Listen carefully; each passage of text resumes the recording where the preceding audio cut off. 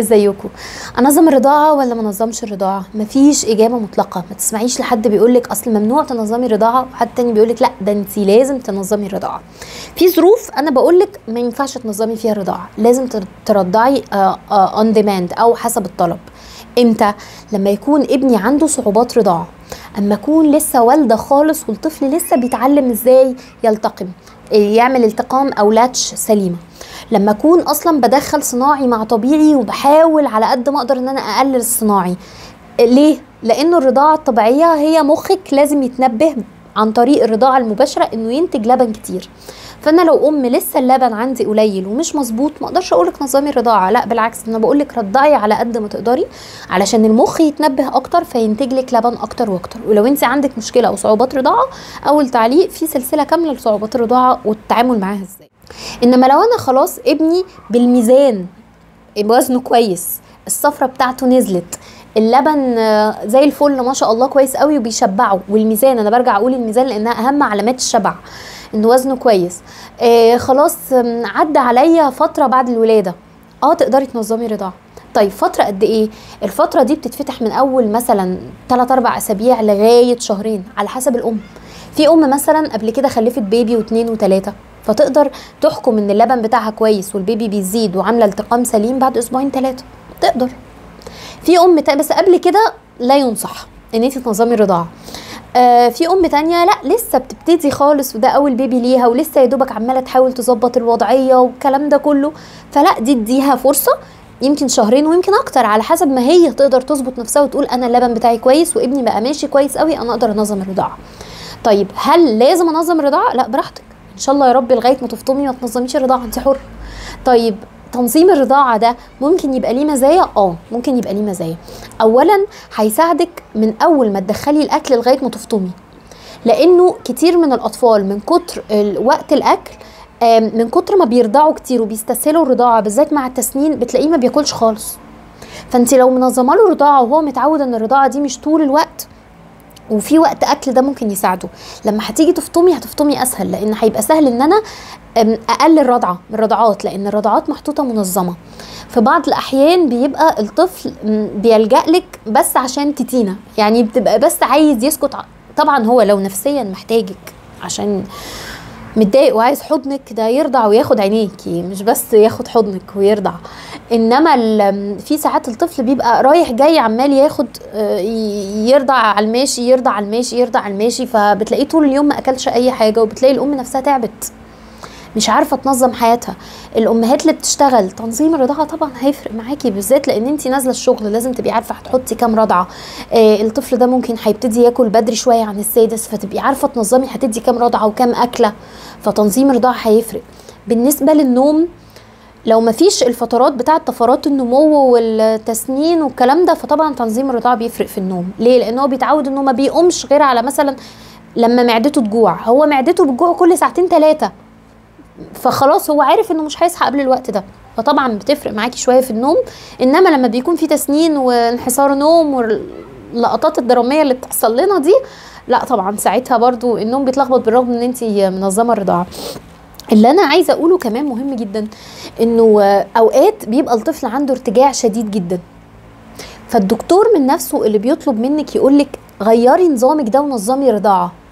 ليه؟ لأنه الطفل طول ما هو عمال يرضع يرضع يرضع يرضع حتى لو بطنه مليانة على الآخر وعمال يرجع لبن وبيرضع. فأنت كده بتأذيه أكتر في الارتجاع. عند وقت معين أنت لازم تبقي منظمة الرضعات بحيث هو يرضع يشبع يتكرع زي الفل. خلاص شبعان ما تاخدش حاجة بقى خد دواك وهدي الارتجاع وهدي معدتك لغاية ساعتين ثلاثة كمان.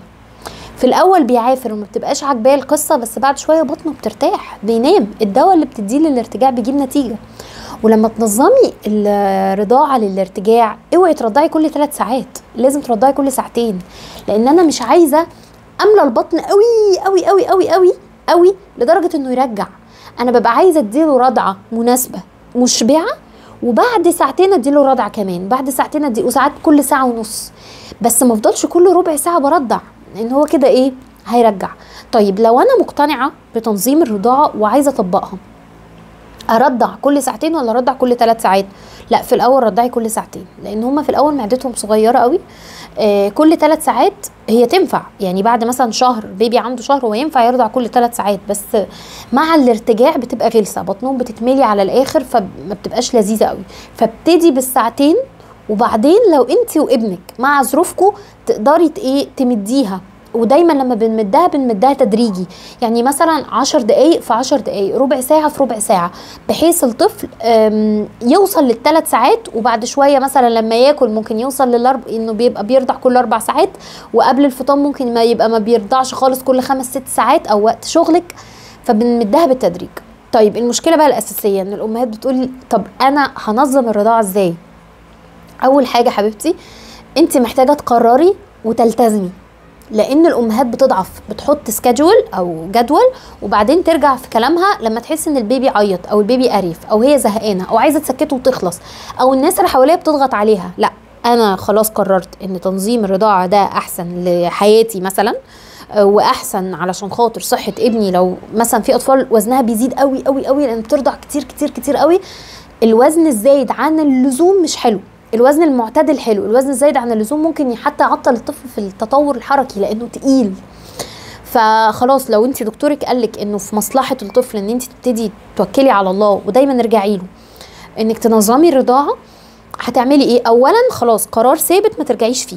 واعملي كده دايما في الفطام في أي خطوة بتاخديها في ال potty training قلعنا الحفاض يبقى خلاص مش هنلبسه تاني. إنما الطفل لما بيحس إن أنت بيفهمونا جدا جدا وبيحسوا بينا جدا. لما بيحس إن في كده فتحه له شباك صغير بي بيتمسك وبيبقى الموضوع أصعب. كل ما ابتديتيه أبدر كل ما كان أفضل. يعني مثلا لو بتنظمي رضاعة مثلا عند طفل شهر ونص والرضاعة بتاعته زي الفل ده هيكون أسهل عليكي من إن أنت تنظمي رضاعة عند طفل أربع شهور. بس مش مستحيل ما إحنا بنرجع نعملها في الفطام التدريجي يعني. بس متاخريش قوي لأنه بعد كده بيبقى تعلقوا جدا جدا جدا بالرضاعة ما بيبقوش فاهمين بقى انت بتعملي فيهم كده ليه.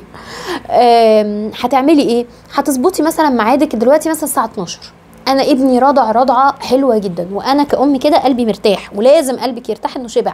عشان لما يعيط بعد شوية ما تقعديش تشكي تقولي لأ ده أصله يمكن جعان. لأ خلاص هو قدامي أهو راضع حلو من ناحيتين وخلص ومتكرع وقاشط حبة حلوين والولد ما شاء الله زي الفل وهادي وهينام وكل حاجة تمام.